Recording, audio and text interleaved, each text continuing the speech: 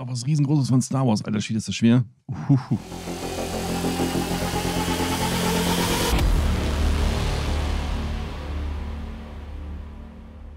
Herzlich willkommen zu einem neuen Unboxing-Video hier bei Metalizer. Diesmal die Lootbox von Get Digital aus dem Januar 2021. Wir schauen mal, was drin ist und ab geht's. Dadurch, dass es halt neu ist, also dadurch, dass es für mich halt eben auch eine Überraschung ist, das Ganze auszupacken, greife ich halt immer rein und ich sehe noch gar nicht groß, was drin ist. Deswegen fangen wir einfach mal an mit diesem tollen Teil hier. Und zwar sind das Base Notes. Zweimal 100 Sheets. Da kann man dann sich halt Notizen drauf machen. Das ist hier einmal, ne, kennt das vielleicht diese Post-its? Gucken wir, ob wir es ausgepackt kriegen überhaupt. Das ist die nächste entscheidende, wichtige Frage. So sehen die aus und man kann halt hier, dann das sind, können dann halt lustig frei nach Belieben beschriftet werden. Gute Sache auf jeden Fall. Schönes Ding. Greifen wir nochmal rein. Es gibt ein T-Shirt.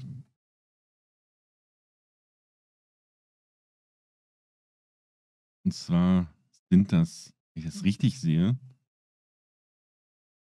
Filmhunde. Also Hunde aus Filmen und Serien. Äh, hier haben wir Snoopy. Das ist hier der, ich komme auf den Namen gerade nicht, schreibt es gerne in die Kommentare rein, aus, ähm, aus Rick and Morty ist das der Hund. Ich weiß aber nicht, wer er ist, also schreibt es gerne in die Kommentare rein, falls ihr den Namen gerade im Sinn habt. Das hier ist Scooby-Doo, das hier ist der Hund von den Simpsons. Äh, das hier ist, oh Gott, den habe ich auch schon mal gesehen. Ich komme aber gerade nicht drauf. Weiß ich jetzt gerade nicht. Das hier ist der aus Family Guy. Komme auch gerade auf seinen Namen nicht. Oh Gott, ich habe Family Guy geguckt und komme auf den Namen nicht. Also schreibt auch das gerne nochmal in die Kommentare rein. Das hier ist halt Ifix aus Asterix und Obelix. Hier sieht man noch so einen Römer Legionärshelm. Ziemlich cooles Shirt und die sind hier auf jeden Fall am Pokern. Hier oben ist auch noch. Allerdings weiß ich gerade nicht, was ich gerade auch nicht, woher da kommt. Also schreibt es gerne in die Kommentare rein. Ich lerne auch gerne immer noch dazu und freue mich natürlich über sämtliches Feedback, das ihr habt. Sehr, sehr cooles Shirt auf jeden Fall. Nice. Gut, greifen wir nochmal weiter rein. Hier haben wir außerirdische Spezialität. Nahrungsergänzungsmittel, Magnesium. Taste Planet Mars. Okay. Willkommen auf dem Planeten Mars. Das ist jetzt Nahrungsergänzungsmittel, da ist wahrscheinlich Magnesium drin. Hier noch so ein kleines, eine kleine Schöpfkelle. Marssiedler haben seltener Geburtstag und weniger Geschenke. Der Mars braucht ca. 1,9 Erdenjahre für eine Reise um die Sonne. Marssiedler können etwas länger wach bleiben. Ein Marstag ist 40 Minuten länger als auf der Erde. Mitarbeiter von Mars-Missionen tun dies bereits. Eine 60 Kilogramm Frau würde auf dem Mars nur ca. 23 Kilo wiegen. Huh. Zumindest wenn sie eine Waage der Erde ohne Anpassung an die Schwerkraft mitgebracht hätte. Auf dem Mars wurde Wasser von der fünffachen Menge des Mittelmeers gefunden, ca. 21 Millionen äh, äh, Kubikkilometer. Nur leider versalzen und tiefgefroren. Ach, Mist. Äh, die Atmosphäre des Mars besteht zu 95% aus Kohlendioxid. Zu einem Treibhauseffekt reicht es trotzdem nicht. Mit durchschnittlich minus, 23, äh, minus 63 Grad ist es bitterkalt. Und mit dem, äh, mit dem Auto bräuchte man zum Mars eine Reisezeit von ca. 50 Jahren. Die kürzeste Entfernung zwischen Erde und Mars beträgt 55 Millionen Kilometer. Okay, das sind auf jeden Fall ein paar coole Fakten über den Mars. Und hier haben wir halt noch so ein Nahrungsergänzungsmittel drin. Ähm, nur mit einer kleinen Geschichte dazu und so weiter. Seit über 20 Jahren arbeiten wir daran, außerirdische Spezialitäten vom Mars präsentieren zu können. Hm, okay, also es ist wohl so ein bisschen. Achso, hier kann man das noch aufklappen. Also es ist auf jeden Fall eine coole Sache. Äh, lustig gemacht, so ein bisschen Nahrungsergänzungsmittel, also Magnesium und so weiter. Äh, das Experiment, da gibt es ein Experiment, was man hier dann durchführen kann. Und ähm. Also ich werde es bestimmt mal probieren, allerdings jetzt nicht hier beim Unboxing. Also ist das Thema dieser Lootbox wohl so ein bisschen Science, würde ich mal jetzt behaupten. Ohne es mir genau, ohne genau vorher reingeguckt zu haben. Aber das erschließt sich mir daraus. Auf jeden Fall eine coole Aktion. Nahrungsergänzungsmittel Magnesium. Gucken wir, was noch drin ist. Ah, unser kleines Tütchen hier. Das können wir natürlich auch mal auspacken. There is no cloud, ein Aufkleber. It's just someone else's computer. Und hier nochmal Star Wars Fan, also Number One Fan. Lol. Und mit einem Raumschiff aus Star Trek. Ja. Cool. Star Wars Number One Fan und dann ein Raumschiff aus Star Trek drauf. Okay, coole Aktion. Das ist witzig. Das ist witzig. Dann haben wir hier The Dark Side of No Moon. Das ist der, das ist der Todesstern in Anlehnung ähm, auf Pink Floyds Dark Side of the Moon, also das Musikalbum, das auch Geschichte geschrieben hat. Äh, das ist eine leere, eine leere Hülle, also hier kann man eine CD zum Beispiel reinpacken. Okay, auch witzig. Dann haben wir hier Flash aus der Justice League, also eine kleine Figur. Äh, es gibt übrigens auch noch äh, Superman, Batman, Wonder Woman, ähm, The Flash, den wir haben, Green und Green Lantern. Er hat LEDs, äh, LED-Augen, also LED-Augen, magnetische Füße, ähm, so ein beweglicher Körper, so bewegliche Teile. Ich will ihn eigentlich um jetzt gar nicht auspacken. Ich finde ihn eigentlich so in der Packung immer viel cooler. Das lassen wir auch an der Stelle jetzt einfach mal so. Also auf jeden Fall mit Leuchten, also mit LED noch mit drin. Ziemlich cool, auch nice, gefällt mir. Aber was riesengroßes von Star Wars, alter Schied, ist das schwer. Uhuhu. Ein Star Wars Max-Set, also ein Tassenset. Alter, okay, nice. Und da kann man Kaffeetassen reinpacken. Müssen natürlich nicht Star Wars sein, aber es sind natürlich auch drei Star Wars Tassen mit dabei. Also sauber verpackt. Und dann haben wir halt hier nochmal drei Kaffeetassen und ein bisschen Styropor. Das ist hier eine der Tassen. Das ist dann halt hier der Stormtrooper. Das hier ist dann die zweite Tasse. Die sind halt wieder übereinander stapelbar auch. Dann ergeben sie halt nochmal so ein schönes Muster. Ein Gesamtbild. Und äh, hier dann halt die letzte Tasse. Und die kann man halt hier in diesem Gestänge, kann man die halt hier einführen. So. Zack.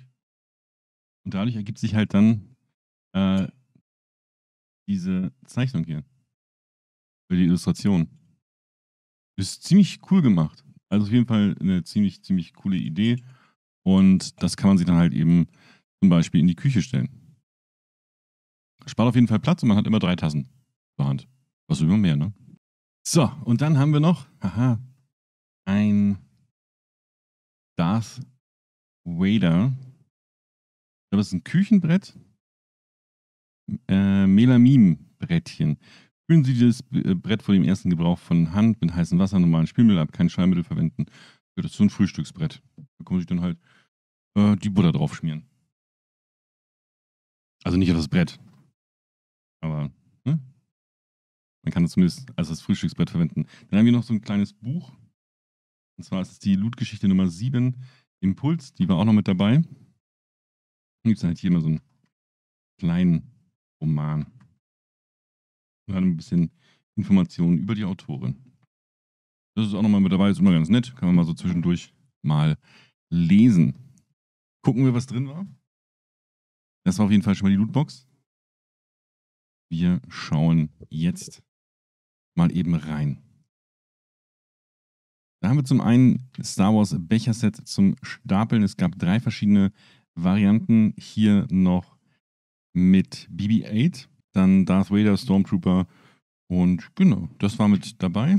Dann haben wir das Shirt, Dogs Playing Poker und Brian aus Family Guy.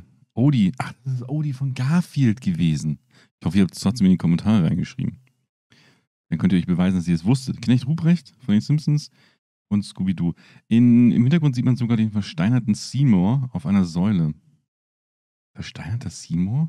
Wo kommt der denn her? Hm, eine von vier DC Hero Cross Figuren. Bitter ernst, fast entschlossen und zu allem bereit, so kennt man die Helden von DC. In den zunehmend grimmigen Filmen von um Batman, Superman und Co. zeichnet sich immer wieder ab, warum DC Comics gerne zum düsteren Marvel-Rivalen erklärt wird.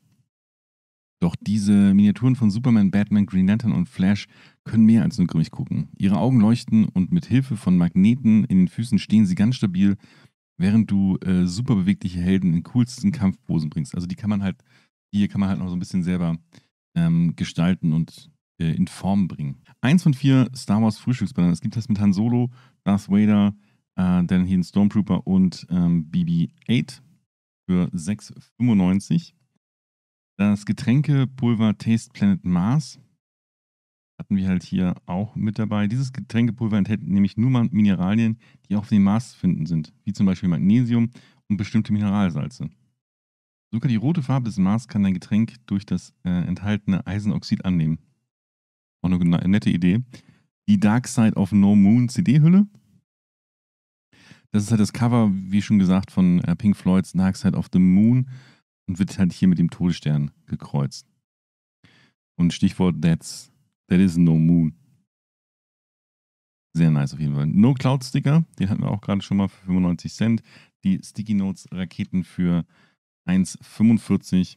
Dann gab es Pennywise Plüschfiguren in der diesmaligen in dem Lootbox Upgrade, was ich mir aber nicht geholt habe. Ich gucke halt immer genau, was für ein Upgrade es ist und dann entscheide ich halt, ob ich es mir hole oder nicht. Äh, das kostet halt auch immer, immer ein bisschen was extra. Nämlich, um genau zu sein, 9,95 Euro und man kriegt dann halt Sachen im Wert von über 20 Euro. Es ist halt, wie gesagt, eine Überraschung, aber ich bin jetzt nicht der große S-Fan, deswegen habe ich es hier nicht gemacht. Und auch bei dem DC hier äh, werde ich es halt nicht machen, also das Upgrade nicht machen. Da muss halt schon mal irgendwas Cooles dabei sein, dann, dann mache ich das mal. Fallout zum Beispiel. Wenn Fallout dabei wäre im Upgrade, dann würde ich es machen. Wir haben natürlich dann auch hier wieder noch neue Sachen im Shop, wie zum Beispiel die Assassin's Creed Apple of Eden äh, Bruchstutzen. Also sind hier mit dabei.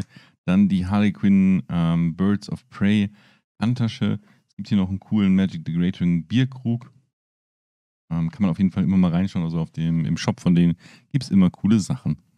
Da hier nochmal eine Info, wann Get Digital mal wieder live ist. Jeden Donnerstag von 19 bis 20 Uhr auf YouTube. Und es gibt natürlich auch die Respawn-Lootboxen. Also wenn man eine Lootbox verpasst hat, kann man sich die immer nochmal wieder holen. Es gibt auch mit Rebox 15 noch einen 5-Euro-Gutschein. Das war die Lootbox von Get Digital aus dem Januar 2021. Wenn euch das Video gefallen hat oder wenn euch die Lootbox gefallen hat, lasst gerne einen Daumen nach oben da und schreibt auch gerne in die Kommentare, was ihr von der Lootbox haltet und ob ihr euch sie selber holen möchtet. Unten in der Videobeschreibung gibt es auch noch einen Link. Da findet ihr die Lootbox auch nochmal direkt.